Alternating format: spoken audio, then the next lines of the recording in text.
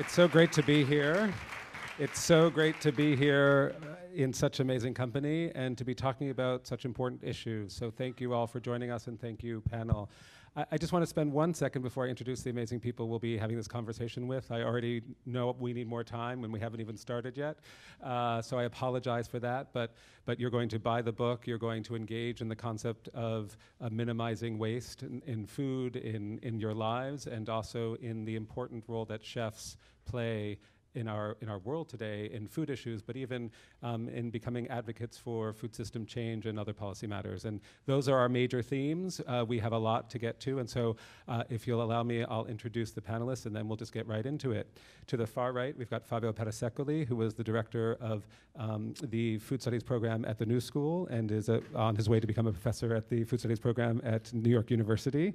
Uh, he's got all the food studies there, author of several great books, and an expert on food and popular culture culture um, and um, I think the importance, I think, of of food in our culture. To my right, Daniel Humm, a person who to a food audience needs no introduction. He's the chef and co-owner of 11 Madison Park, um, chosen this year as the number one restaurant in the world, um, which is, uh, and yes, you get some applause for that. Uh, also a multiple James Beard Award winner, we must say. To my left, Kathryn Garcia, who is the commissioner uh, of sanitation for the city of New York City, the largest single municipal waste management program in the world. Thank you for being here. Danny Bowien from uh, Mission Chinese and also uh, written, author of uh, some great books and who, yes, an applause, who's here because of his role in many, in many of our lives, but also in the movie Wasted, which we'll talk about. And on my far left, the person, the friends, um, the man who, of whom we are all friends and whose, whose vision really is why we're here having this conversation and why people around the world are having this conversation in a significant way, Massimo Bottura. Yes. Uh, just before this guy, his was the number one restaurant in the world in Modena. you can't swing a cat without hitting a number one restaurant in the world on the stage at the moment. Um, and also, more to the point, author of Bread is Gold, which is the story of the Refettorio Ambrosiano, which has blossomed into a worldwide movement to come to engage with chefs and uh, artists and designers and all sorts of cultural uh, influencers to combat the issue of food waste and really much, much more. And we'll talk all about that. Okay, thank you very much. Bye.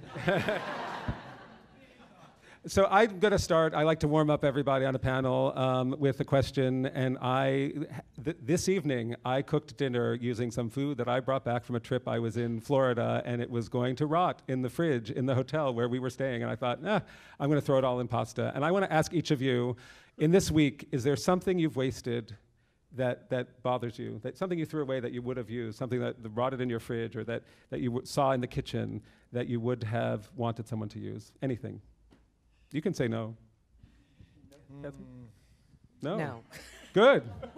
but mainly because I haven't actually shot no, maybe a Sacher, no, I, I, maybe a Sacher torte that I brought from Austria for my son Charlie that he loves chocolate. He tastes the Sacher torte. He said, "This is not good." and and uh, you know, no one wants that Sacher torte. so maybe, maybe I don't know. Maybe it's bad in the refrigerator. Danny, Still anyone? there. No. I can't think of anything. Good. Okay. So we're already on your way to zero uh, landfill, zero waste la- in the landfill, right? We're, we're, making some progress here. Okay, let's begin, Massimo, by having you tell us a little bit of the story of the Refettorio um, and the context in which it came to be, please. it was uh, 2014, and uh, you know mm, the Universal Exposition was there. Universal Exposition, you know, wow, it's a big thing, you know. And I thought uh, I always thought it was an amazing opportunity for Italy to show our history, what we were, what we are, what we will be. And uh, but all the states they were like try to involve me in very strange situations like okay we have to do a part here in Emilia Romagna and we're going to do like this and without even asking us what I was what I was thinking you know about uh, a theme like feed the planet. Wow. Which was the theme of the expo. Yeah, the, the theme of the Universal Exposition. So I was talking about this theme uh, with Carlin Petrini, confronting the the president of the movement Slow Food, and uh, you know we were all both were like very, you know, uh, concerning about uh, what was going on and blah blah blah. So I said, maybe, you know, checking the numbers, 860 million people they are starving and 1.5 overweight and 1.3 billion tons of food are wasting every year, 33% of the world production, it, it, it, doesn't make any sense to produce more. You have to waste less, you know. And uh, so we will start talking very deeply about these uh, things. And uh, I approached uh, many different organizations, but no one was interested in what I was, what, what I had to say. So I, at one point, I, I went to to the Church of Milan, and uh, the Archbishop Scola said, "Okay, let's listen." And uh, you know, as uh, as my usually, I'm very passionate man, and uh, about what I believe.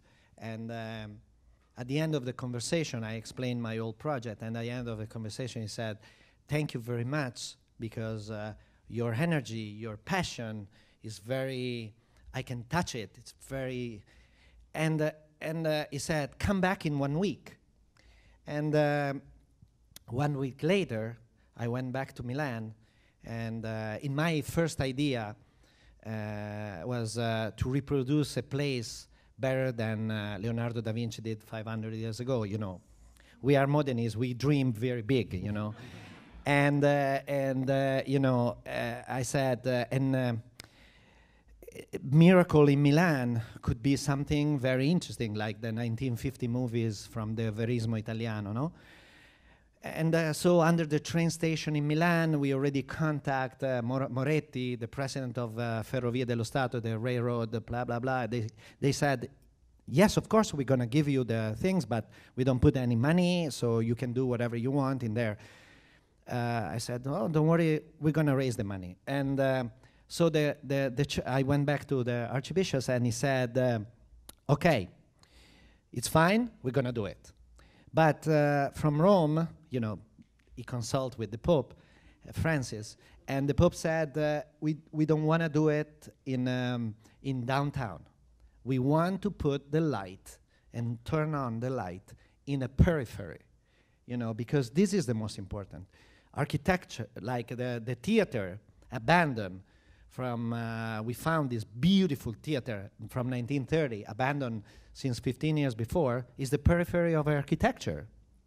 No art nothing just uh, you know dust and rats in the most in the poorest in the neglected neighborhood in milan close to the house of the refugees you know in a moment very critical moment uh, in europe because of you know all the migrants and um, and uh, serving the surplus from uh, Expo and the supermarket. There is the periphery of food, you know. So everything made sense, you know, and and uh, you know we did everything in one uh, one year, involving the best architects, designer, um, uh, ar- um, artists, because in in in uh, in my mind, you know, it was very important to create an amazing space. If Leonardo did 500 years ago, there was a meaning, you know. Beautiful space, beauty, beauty, through beauty, you can rebuild the dignity of the people. Why art, why design is just for rich people? Why? We have to do something better. You have to do something incredible. We have to open the door and say, Welcome to every single one who was coming from the war or from Libya or from, you know, and, and feed them because we are restaurateur, restaurant. Restaurant comes from the word reficere in Latin, will dire restore, to restore the soul and the mind of the people that are traveling, uh, and that that's what, what is the meaning. And so we did it. So you did and, it. Uh, you, you I call yeah. and I involve. Uh, you know, I said immediately I have uh, to have all my friends uh, with me because it's a, a, collective project because we have to share this kind of idea. I called them in 45 minutes. Everyone said we are in. So you turn this this what became a beautiful space was once a beautiful space Yes. into another beautiful space Yes. with tables designed by artists with a beautiful kitchen lined with copper on the hoods all Yeah. this this beauty as you say and you chose to invite some of the greatest chefs in the world to come reimagine the cast off food waste or or just overripe or unused or Yes. and whatever into a gastronomic feast for Yes. the the people of that neighborhood Exactly.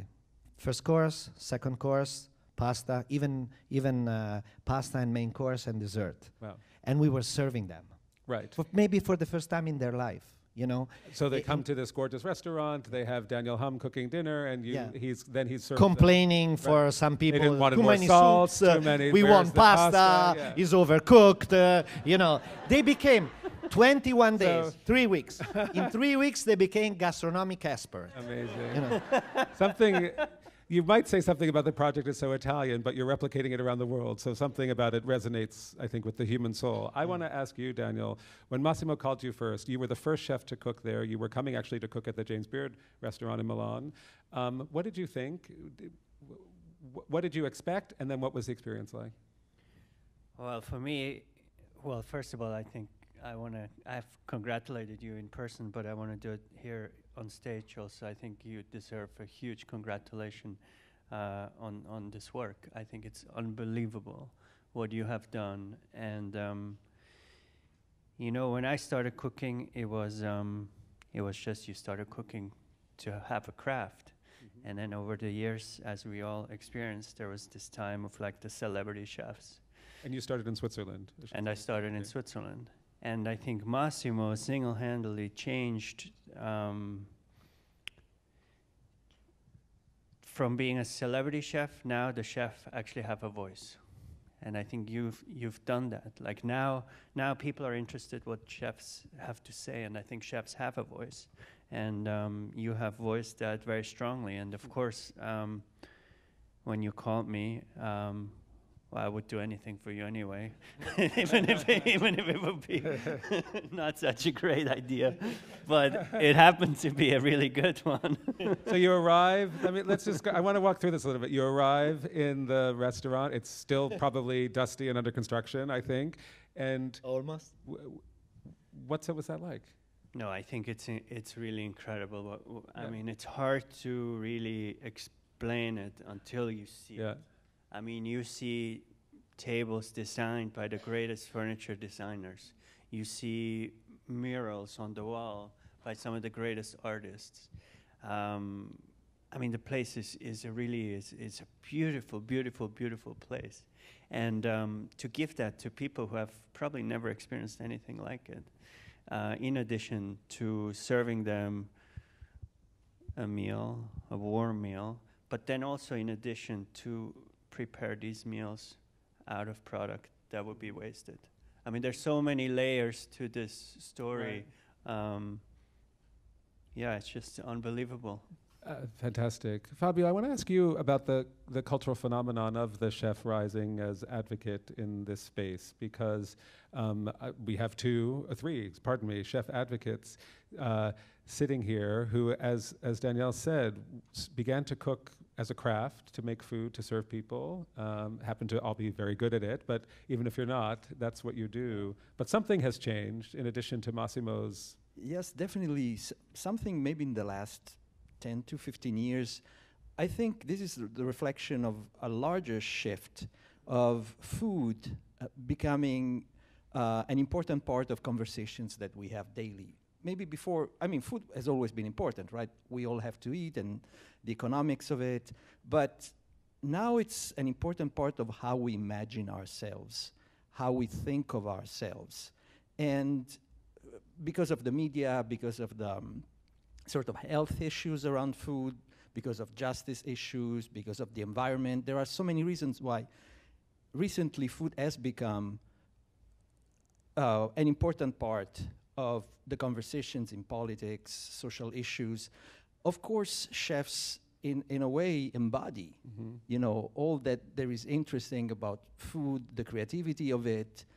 And as food moves to the forefront of these discussions, chefs automatically find themselves at the forefront of the forefront. Mm-hmm. And I think they do play, you guys play a huge role because you can speak to the imagination of people. You can help them imagine other possibilities. But, but it hasn't been that long since they've been out of the kitchen, uh, since they were yes. unseen, uh, right? It's Yes. a short period of time, really. yes, before it, it, it was the restaurateur right. that was important, and the chef was uh, labor, you know, a worker. But there, this fascination with, with food and how food is prepared and where it comes from, uh, I think accompanied also the chefs in this new position. That started in the 60s, right, with Nouvelle Cuisine, the fact that young chefs wanted to put their signature on what they did, their ideas, but it's been a slow process. I think the acceleration happened more recently. You know, now you guys are in documentaries. That's amazing if you think about it. Speaking of documentaries, Danny, um, I think in some ways um, both Massimo and Danielle represent uh, a change from a very classic European tradition of cooking in the great restaurants and apprentissage and, and um, then evolving into this new space. But something about the way you got into this business, something about that first pop up in a, in a divey Chinese restaurant in um, San Francisco already had an alternative vibe that was not just about cooking great food, although certainly the food was great, but was uh, something else was changing there. Can you speak to that or reflect on that a little bit? I mean, I got into food, you know, I grew up in Oklahoma. So, and I was adopted. So I'm Korean, but I grew up in Oklahoma with American parents. And, you know, like, I didn't grow up around food. Like, every night I ate, like, hamburger helper. If anyone here has had that, raise your hand. Have you had that? Has anyone had that? So, yeah, it's like, it's like you would, I don't know what you would think of it. It's like, it's like, it's not pasta. it's kinda alla pasta. ragu, al ragu, but it's like it's like you know I f- I found myself through food. You know I I don't know like I don't know. Did you want to be a chef as a kid? Did you know that's what you wanted to do? Or did you kind of I just fell into it. I, I wasn't good at anything else. So I was like well I guess I'll give this a shot. I ended up finding myself through that. And so you know like I think as chefs we all like a challenge and we also always we don't want to hit a ceiling ever you know so with Mission Chinese when that started I kind of had worked my way through restaurants I didn't fit into the chef culture at the time I wasn't like a bro. I w- didn't watch football, and like you know, I I didn't. There wasn't a space for me, so I kind of created my own. And I think that that's what chefs do. Like we want a challenge. Like you know, I, I when you're asking Daniel about like what was it like to show up in this space when it was still maybe under construction, it's like we've all been there. When you're building a restaurant, we kind of like thrive off of that like mm-hmm. chaos, you know. So, you know, I think that like food, yeah, I I as an ad- to be considered an advocate, you know, it's a lot of pressure. Like I, because I'm still learning about food. I'm still mm-hmm. learning about what But something food about is. that fusion of your identity and finding yourself in food, I think, speaks to this notion that the chef isn't just the product of his or her craft, Right. but actually puts him or herself into that in a different way, right? Right. Yeah. I mean, it's very. You put yourself in a very vulnerable place as a chef because it's kind of like being a musician, right? You get into this as a passion, but then you put it out there for everyone to judge. I mean, you're talking about being number one restaurant in the world. That's a lot of pressure. You know, like Yeah. you didn't, you weren't. but like you know, Don't it's you have like some table you should be at right, now? You know what I mean? It's like you get into it because you like love it, and like you're a musician because you just want to like play music and and be artistic, and but then you kind of get judged. It's such so subjective, so it's a lot of pressure, and even being people asking you your thoughts on like you know b- when I got into the Wasted documentary, right? When they asked me to participate. I was just dis- I didn't know anything about food waste, and as a chef, you know, you want to kind of be a know-it-all as a chef. You want to know what you don't know. So I was like, of course I'll participate in this because I don't really know. Like in kitchens, we're trained to not ever waste food. Right. You know, so like, but getting to know the facts and the statistics were it was important to me. It's very important. You guys are just feeding me, if I may, the segues because that brings us to that that helps us pivot this conversation to the actual issue of food waste. And I want to come back after we get there a little bit and talk about the what you just mentioned, the challenge, the gastronomy, the creativity that comes out of limitations. But s- set us up a little bit about what's happening in the city and also why there's this uh, American and global push to reduce waste in general and food waste in particular. Well, I mean, so food waste, there's about 1.3 million tons of food that gets wasted in New York City every year. Um, and about half of that's residential and half of that's on the commercial side. And it's a very, it's an environmentally hazardous place to be because that's where all of the greenhouse gases end up being. But it also is an incredible waste of money. Um, it's an incredible waste of money for a household. It's an incredible waste of money uh, in a restaurant. If you, that's all profit. You might as well just bag up some dollar bills and you know throw it out the back door. Uh, but what I think is so important about being on the same stage, I don't think that there's been a commissioner of sanitation who's sat with any celebrity chefs before. Um, yes, you for that. but is it it's their creativity it's all of the people think that it's going to be hard that planning out your meals or doing what probably most of our grandmothers did which was make something on sunday and recreate it three different ways during the week uh, is not something that often in our fast-paced world we're thinking about but i think that when you see chefs who are extraordinarily talented producing um, you know I guess number one in the world food from wasted food, you're like, wow, I could actually do that. I could actually be much more efficient, and it's so not necessarily driven by the environment or money or just the idea of being creative with how we manage our homes and how restaurants in the city of New York think about what they're doing with food. So this makes everyone else have to step up their game. But, You, uh, you sorry, know, please, sorry, Massimo, yes. the the when we when I I called them and uh, I was asking them to create something very simple, very easy, from uh, overripe tomato, brown bananas, uh, you know, uh, breadcrumbs. Uh, I was I was th- th- thinking about that because that book I'm I'm, I'm I don't want to be too p- puts too much emphasis, but to me, it's the most important book in the last 20 years because. No, Well, it's not his recipe, so he can say that. In which 65 of the most in- influential chefs in the world, they're putting their creativity, time, thinking about what they can do with. I, I still remember it. You know, the zucchini, lasagna. You know, he didn't have anything. You know, it was the first day. You know, a little bit of meat, but uh, not too much, uh, and uh, you know, no pasta, no flour, and uh, but tons of zucchini, bruised zucchini, and he was slicing the, zuc- zucchini and and created the lasagna and using zucchini instead of pasta. So these kind of things, all those recipes are so easygoing, so fast, you know, that everyone can cook home with that. You know, that book has to stay in the kitchen, take notes, and my mama was doing with their Plenty of room for notes in it. I love that. You- yeah, it's, at the end it's like, and change the recipe as you want it. Right. So this is the point. So I want to talk about something that I think is really important in all of these conversations. At the Beard Foundation, we're working on a curriculum for uh, culinary schools to instill an, a sense of full utilization or minimizing waste. And one of the challenges that we have is the, the phrase itself. When we think of waste, uh, we don't think of things we want to eat. It's not a good word. And I often think of Mary Douglas, the cultural anthropologist, and her great quote that, that dirt is matter out of place and waste is really food out of place in some ways. And so I want to think from a here both from a cultural anthropological perspective, but also from a chef perspective. Where do you think that line is about what is not used for reasons of perfection of taste or technique or something you learn to eat the middle chops or, or, or other things, and how that, that, that um, spectrum of gastronomy or haute cuisine or whatever it is comes into play when you're thinking about the cooking of food and using everything versus using waste?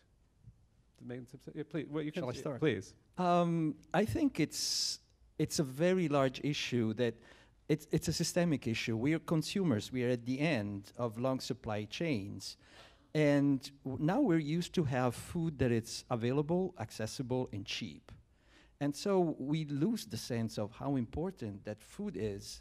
Uh, I mean, not everybody, unfortunately, but most people in our societies have this access to cheap food, and that uh, automatically makes it less less important. And if you go back on the supply chain, you realize that yes, as consumers or as chefs, we have a huge role in uh, limiting waste, but a lot of waste happens in the distribution, in the manufacturing, even on the fields. So Right. there is a whole way of thinking right. about food that it's all about, you know, in a way, profit, which also means waste.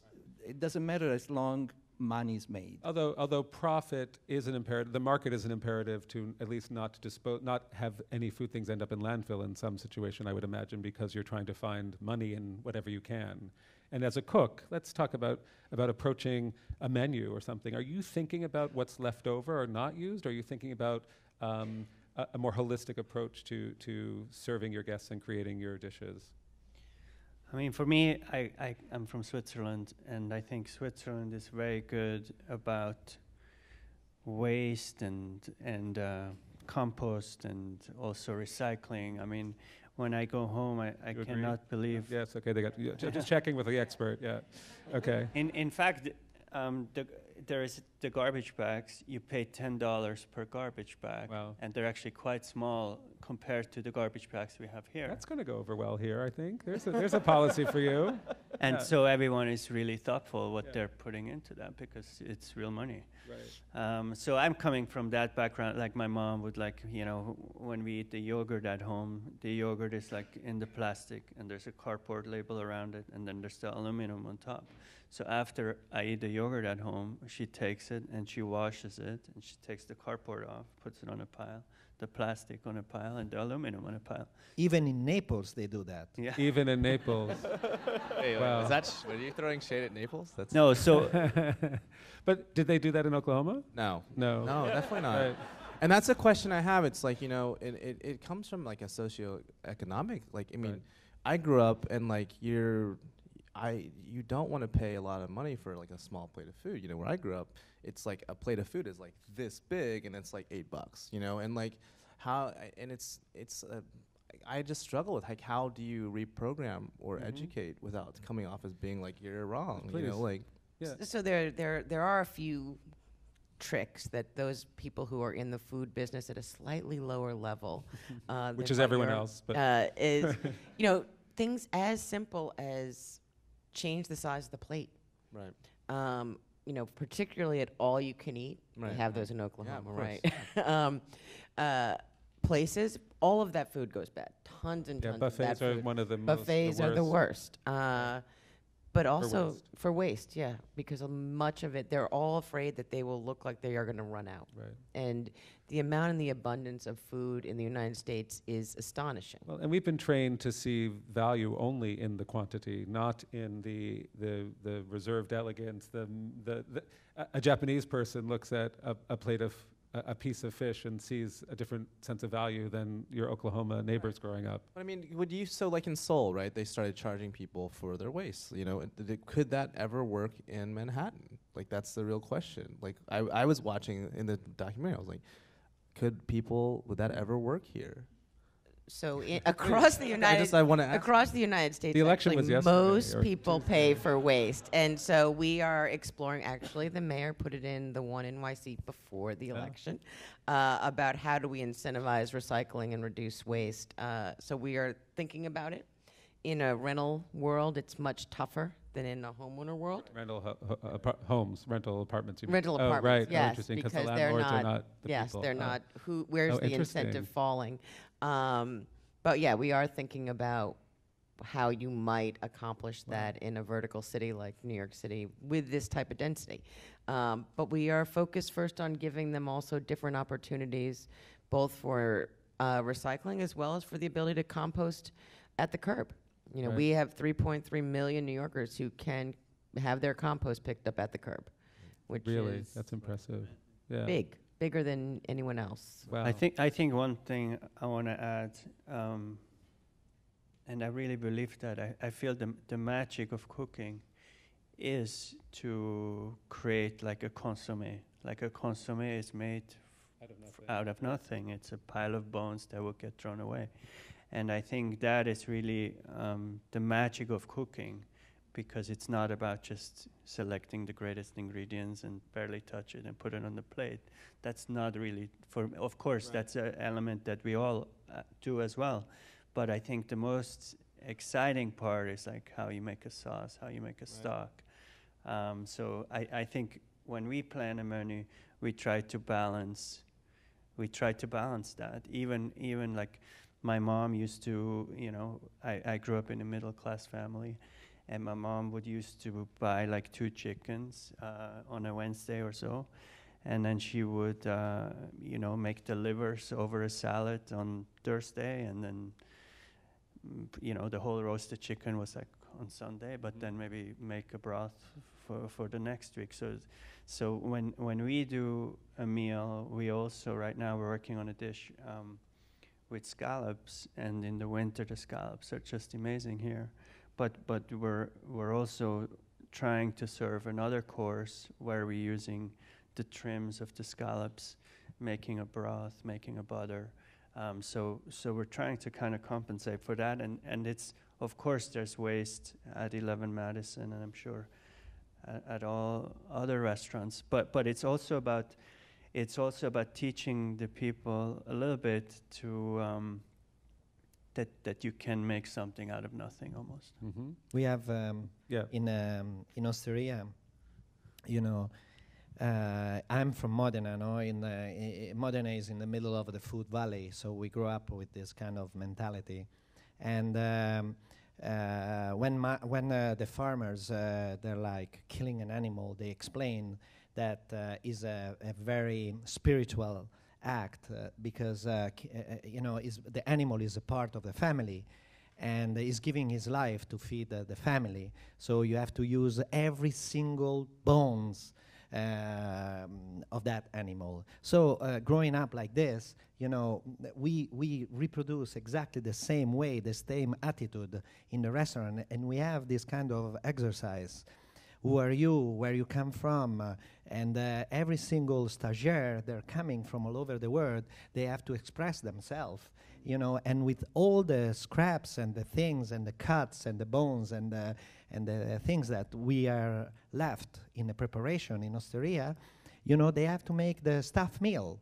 And we are serving uh, uh, 30 people every lunch and every dinner, but we are 60 uh, to prepare. So it's like 120 uh, meals every day. Right. So it's like uh, we have to engine ourselves, uh, even for the, you know, the balance at the end Right. of the year. You know? But that in itself is a part of the training, I would imagine. right? Absolutely, is uh, is the most difficult thing, Right. you know, and it's part of uh, what you can do. Use your imagination, the creativity, and uh, all the technique uh, we have uh, to to create uh, amazing food, and that's how we start. Uh, without Osteria Francescana and the example in Osteria Francescana, I could never, uh, and and of course the heritage of my parents, you know, I could never ever think about to create something like that at the Universal Exposition. Amazing. Yeah. Fabio, yes. I, I just think also that uh, teaching and learning how to uh, waste less when it comes to food, it's sort of an exercise to start and, and think about how to waste less in other parts of our life. So uh, last week we had somebody from the EU uh, came to talk to us, and he explained to us that they are trying to use food waste sort of as entry key to educate people about sustainability in general, and even more about the concept of circular economy, which has become a priority in the EU. So, how do you uh, turn the uh, output of a process into the input for something else, so that you reduce waste at all System, levels? through the And he said, we decided to start working on food waste because it's something that people experience Mm. personally in their homes. And that might help them think about also larger Mm. issues. So I think in this sense, what you guys are doing as chefs, it's really stimulating also this way of thinking, you know, Right. creating examples. But think about the companies like uh, Grundig or like Sub-Zero. They are creating uh, uh, machines uh, and dishwashers and um, washing machines. They use uh, less water than ever. And uh, you know that's why they approach us after the old things and the Universal Exposition. We want to support Food for Soul because we are working in the same way you are working with food. So the less water, the less electricity. You know, it's like it's Right. movement is real you know is here So, uh, uh, two final things, and then I think we have the questions. I hope you filled out your cards and that they will find their way to me soon. Um, I want to ask about the nature of um, of creativity when it comes to food and and the role let's get back to the role that chefs play because I think it's one thing for me to say oh my mother um, was was very um, frugal in the kitchen, if if your mother even was ever in the kitchen, and these days that's less and less true, but and didn't do these things, or you have a tradition of Italy or Switzerland to draw on. And another thing to say that the greatest chefs in the world tell me this is something I should pay attention to, and this food is as good for Daniel Humm and Massimo and Danny as it is for uh, me, uh, you know, a New Yorker, uh, someone who goes to the green market and, and prides myself on knowing things about food, and I can know that. And so I want to talk about a little bit the inspiration that you can give and, and, and get back to that where we started, the role of the chef and how that's changed, and, and what you would say to people um, who are, don't have your skills but also want to be good citizens and, and participate in the circular economy. Do you have advice for folks? How can they engage? To me, the best recipe that we can do and we can transfer to you is um, eat seasonal.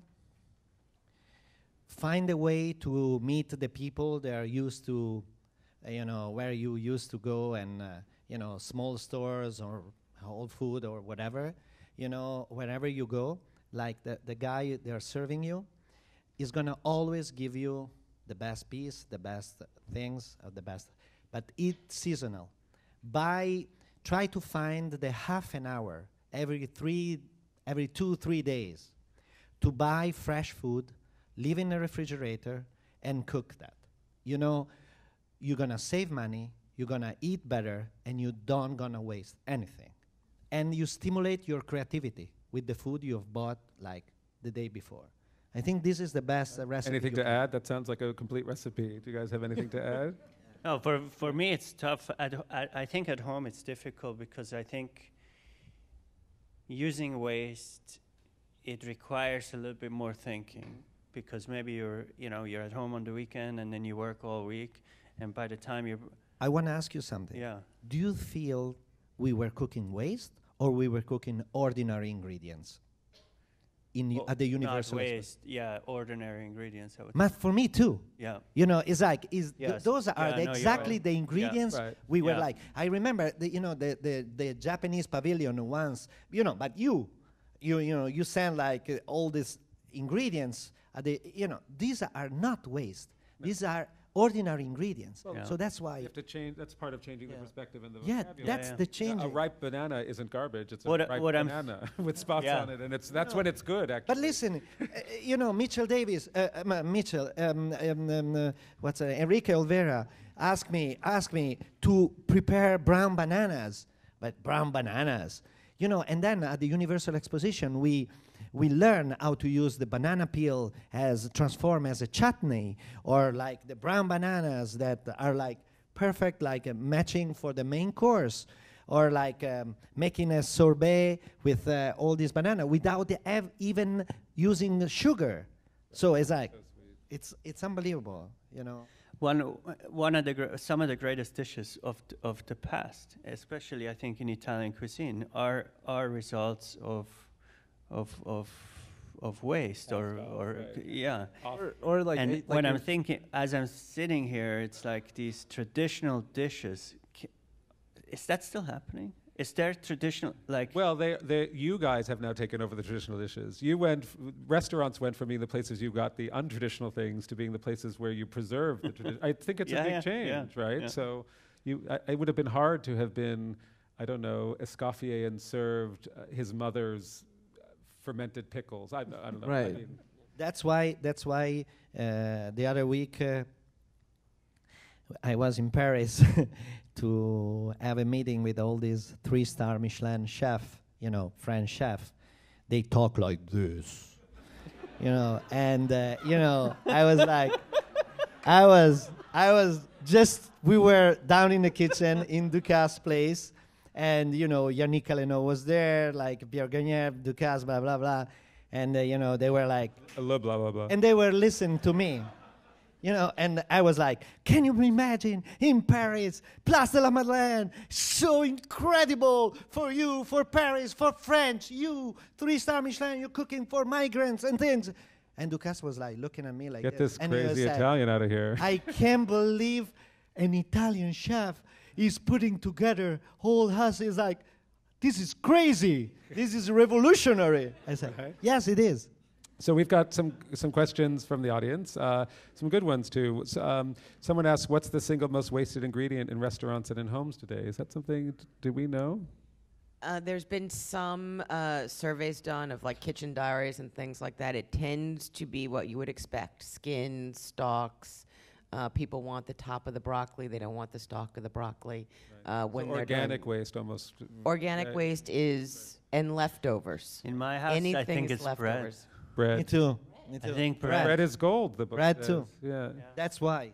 yeah. So let's tell, say a little bit about Yeah, that. Bread, Yeah. uh, bread is, uh, you know, we prepare bread and we bake bread uh, uh, maybe five times uh, a day to have always the bread Mm. uh, th- to serve Fresh. the bread just baked. And we at the end of the day we have a lot of breads. And if you think about, you know, the one of the most important, you know, very simple, easy recipe that my daughter loves, you know, uh, is like breadcrumbs is noodle made with breadcrumbs, uh, eggs, and uh, Parmigiano Reggiano. Make very very quick, uh, some uh, nutmeg, little bit, and you squeeze into a chicken broth, and it's one of the most amazing plate. And uh, just to, you know, to uh, to to use the, The bread that's leftover there, bread. right. Yeah. Um, this is an interesting question too. How can restaurants change the behavior or the perception of food waste uh, for their guests without making it the center of attention? So I'm going to let them answer Yeah. it, but I think that anyone who's going into one of their restaurants already thinks that everything on their plate is fabulous before they Right. probably had it. Um, At three hundred dollars for dinner, not a lot goes. Ba- I'm gonna I'm gonna assume that they're gonna Right. eat all of their food. Yeah. Uh, But I think that's an important thing, and we deal with this in, in some of our advocacy work with chefs, where at the Beard Foundation we're trying to fire chefs up to be politically active and participate. But at the same time, uh, I mean, if you'll pardon the pun, you can't really stuff something down someone's throat who come into your restaurant for an experience that may have nothing to do with your pol- political moment. But that doesn't mean you don't have an opportunity there to do something or to influence someone in some like way. Like, I don't want to say 90%, but uh, 75% of the people that come to the restaurant and I meet them, they they all congratulate, of course, for the meal, but also for the project. So they know the project. So this is the way we can act. We can act. They know. They have to know, and they know that we are like involved in this kind of project, and they they really care. A lot of people really care, and I feel it. Well, you you're know. very convincing, yeah. I have to say. Uh, but I think no, it's time. It's time. Yeah, it's no, the right course, time. no. It was the right time. I think one thing has happened a lot in the last 10 years probably is that, like Massimo said, ordinary ingredients versus waste. I, I think we chefs have all had signature dishes made uh, from carrots or cauliflower or who knows what, you know, like ingredients that before you would have not, would have not been acceptable in a restaurant that a meal is like $300. right. Um, and today, I think it is, and I, I think that is also a change. Like people don't need only the highest end products anymore. We, we I think we are able to teach the audience that that a carrot can be as luxurious as, as caviar. Or But but because uh, uh, something happened at the at the at the end of the 90s and the beginning of the the the new, you know, in uh, Ferran broke all these barriers. Ferran and Adrià- Ferran Adrià El Bulli. and El Bulli, he, he teach us mm, that uh, cuisine can be much more than uh, you know uh, some lobster or caviar or foie gras, and uh, could be more much more emotional.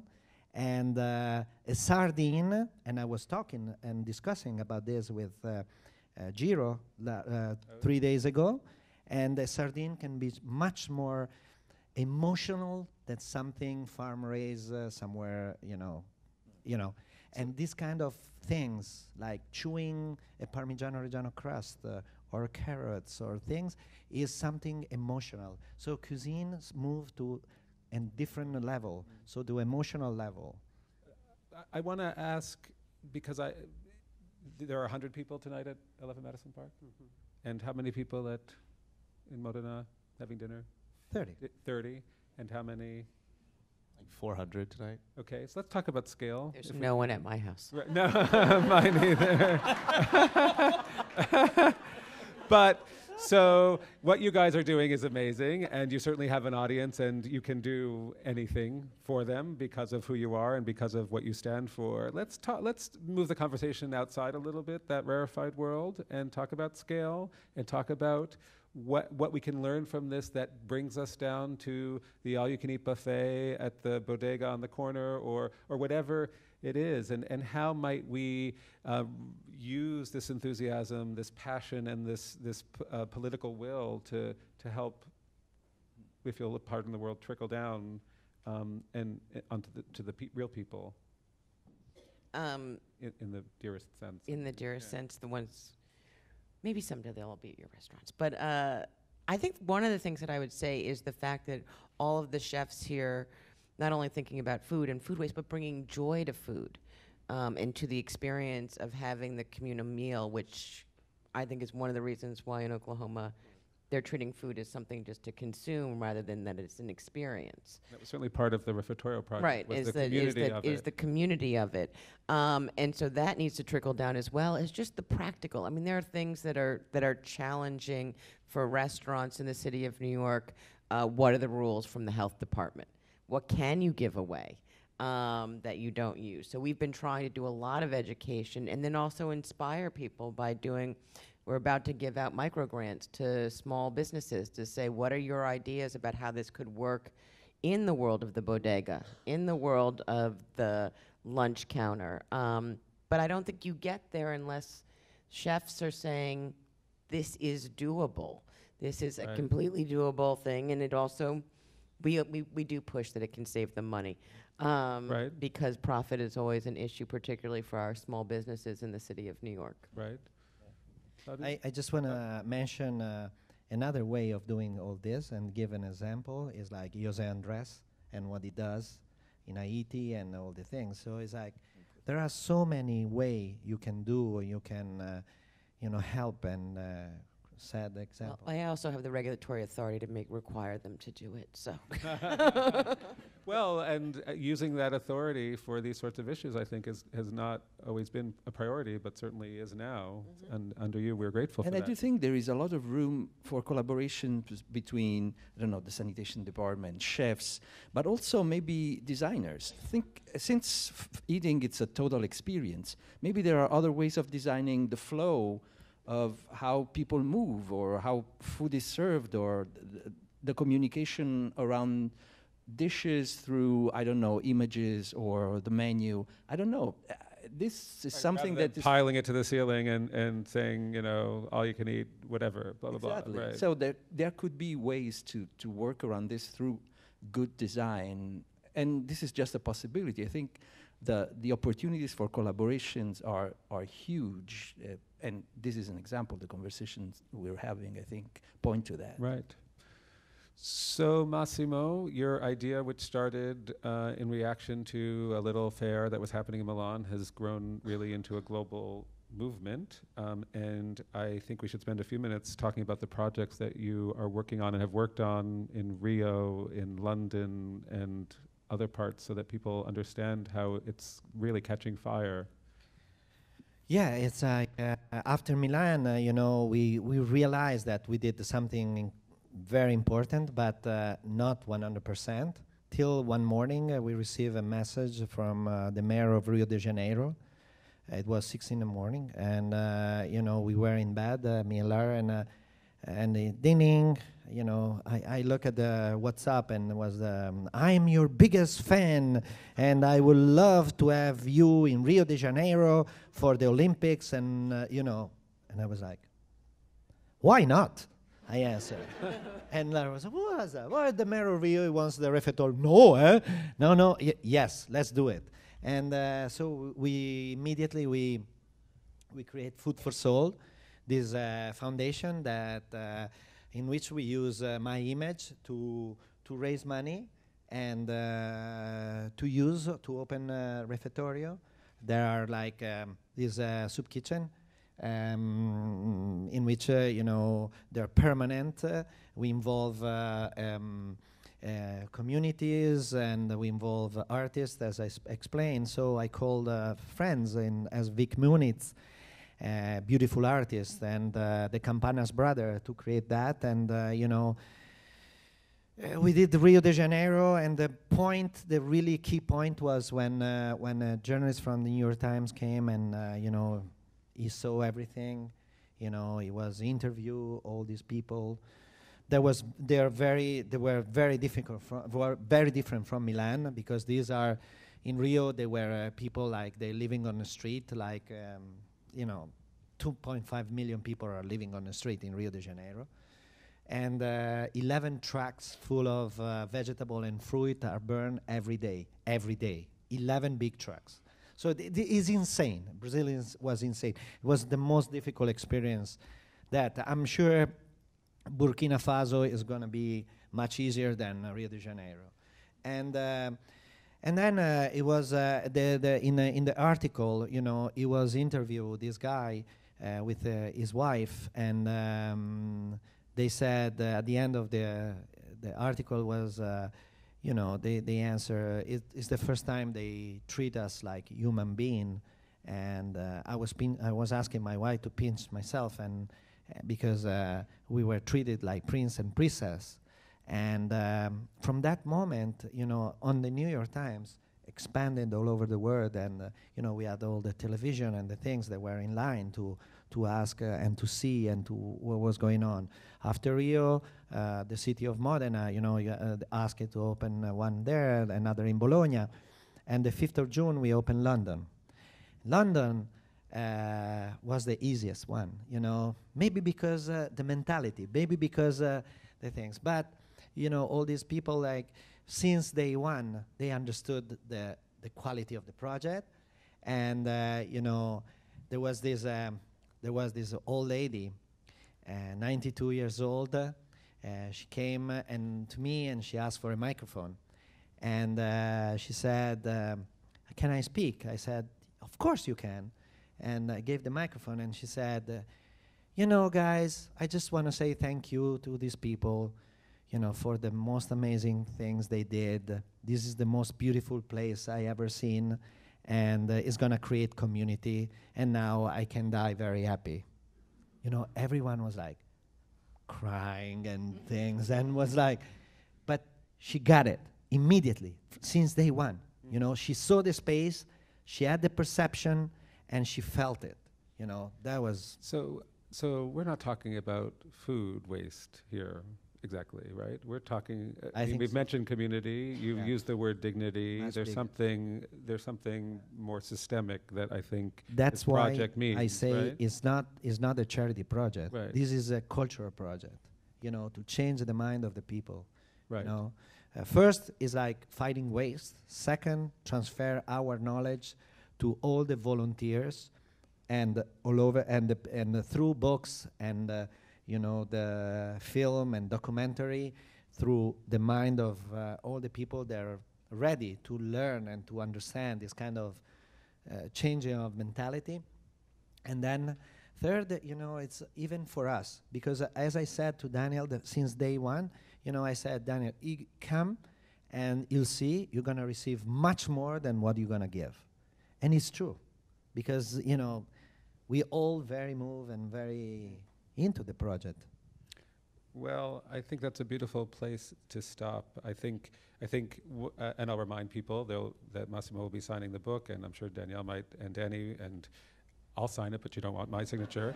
um, uh, the, the title "Bread is Gold" is really about transformation, right? It's about the topic of, of um, semantics and, and the words we use and the powers those words have. And in fact, we really mean breadcrumbs and, and stale bread and, and all of that is also gold here. And I thank you for showing that to us in such a profound way, for everyone who participates in a, in a daily way in dealing with the issue. And, and I would encourage all of you uh, not just to buy the book, but to think about what it means to bring uh, dignity to and respect to the food, to the people, and to everybody um, who deserves to eat as well as these guys can cook. Um, thank you for being here. Thank you very much. Thank you. Thank you so much.